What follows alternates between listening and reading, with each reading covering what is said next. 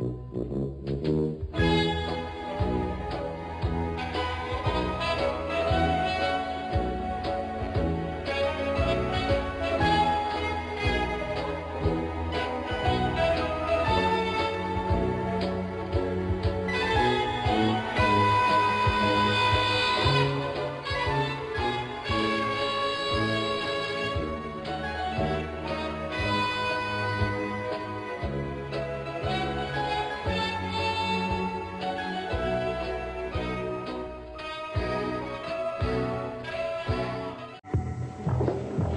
Oi. Dá licença. Você é. Eu sou o Félix. Aconteceu alguma coisa com o Arthur. Não, não. O Arthur tá ótimo. Então o que você veio fazer aqui no lugar dele? Ah, você não gostou das rosas? Eu que mandei. É você que mandou essas flores pra mim? Sim, eu disse pra você que você teria uma surpresa. Eu Ai, consegui. tive. Tive mesmo. Eu nunca pensei que tivesse uma pessoa tão descarada assim. Você é capaz de quê? De mandar flores pro namorado do seu melhor amigo? Você não tem vergonha? Pera um pouquinho, Priscila. Pera aí. O Arthur não me falou nada da relação entre você e Eu ele. não acredito. Eu tô te dizendo a verdade, eu juro. Mesmo assim, você acha que eu seria capaz de, de sair com um estranho só porque ele me manda uma dúzia de rosas?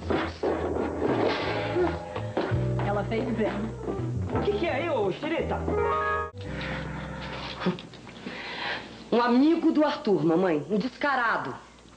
Mas ele me pareceu sincero quando disse que não sabia de nada. Talvez o Arthur não tenha contado mesmo. Isso tudo é muito esquisito, você não acha? Félix, o que é que você está fazendo Oi, aqui? Léo. Oi, Fred. Muito bonito, muito bonito. Eu quero que você me esclareça por que é que não me disse que estava saindo com a Priscila. O que você está fazendo aí, rapaz? Como é, como é que você ficou sabendo? Como é que eu fiquei sabendo? Pô, ela me contou, caramba. Como, como, como? Como? A Priscila contou que eu tô saindo com ela? Contou, claro. A gente se encontrou no bar e ela me contou. Por quê? Ah, você é um traidor, você é um traidor. Você saiu com a minha namorada pra bater um papinho num barzinho com ela, né? Eu pensei que você fosse minha amiga. Você é um traidor, você não... Você não... Baixo. Não, mais baixo do que eu tô falando, é impossível. Eu Ninguém não tá acredito. Veja, você ainda tem o topete de dizer que eu é que sou um traidor. É claro. Você for o grande culpado de tudo, eu? É lógico. Eu tava cansado de ouvir você dizer que não tava nem aí com a Priscila. E se você quer saber, pro seu governo, eu passei o maior papelão da minha vida. A Priscila só faltou enfiar a mão na minha cara. Eu fiquei aqui no idiota, ela, mas, mas, mas, mas. E ela ali, ó, com o dedo na minha cara. Léo, Tá Léo, bom? Léo, a Léo, Priscila não deu a menor bola pra ele. né? tá vendo só, Léo, como é que é? Ó, nós dois, seus melhores amigos, passados pra trás. Ele não nos contou nada e eu fico lá de idiota. E a Priscila ali pra me enfiar a mão na cara. Hum, Sabe por que eu não contei nada, seu panaca? Eu não contei nada, porque eu não queria que minhas filhas soubessem, só por isso, Ah, entendeu? sim, sim. Boa desculpa. Léo, me ajuda aí. Fala alguma coisa, poxa.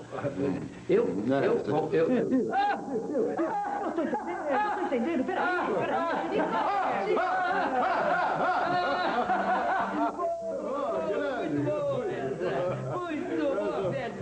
Gostei dessa boa, meu. Ah, muito bom. Não, não, não dá. Essa não dá pra menor, é só pra maior de 50 anos, viu, Muito boa. Onde é que aprendeu essa? Eu aprendi lá no banco. É, você vive no... É, ó, tá correndo. Eu aprendi com ele, é.